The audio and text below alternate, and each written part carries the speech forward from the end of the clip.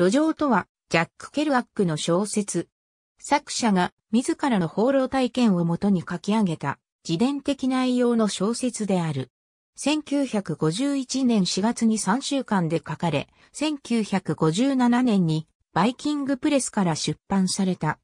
日本語訳の題名は、1959年に最初に出版された際は、路上、2007年に出版された新訳版は、オンザロード。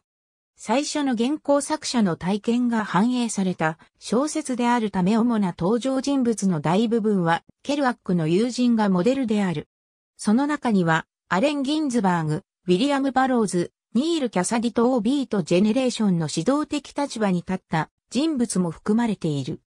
1940年代から50年代のアメリカを舞台にケルアックをモデルにした主人公サル・パラダイスがディーン・モリアーティ等と共にアメリカ大陸を自由に放浪する姿が刺激的に描かれ、その新しい価値観は世界中に影響を与えた。特にヒッピーからは熱狂的に支持されカウンターカルチャーにも大きな影響を与えた。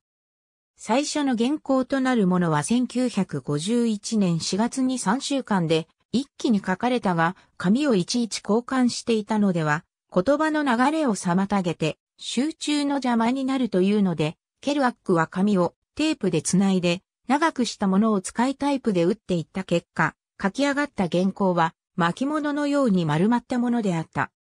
その初稿版では、すべての人物が実名で登場しており、長らく幻だったその原稿は2007年の刊行50周年に出版され、後の決定版では削除された箇所もそのまま読める。また2001年にオークションに出品されたローレ氏の原稿は240万ドルで落札され、戦後の文学史上最高値となった。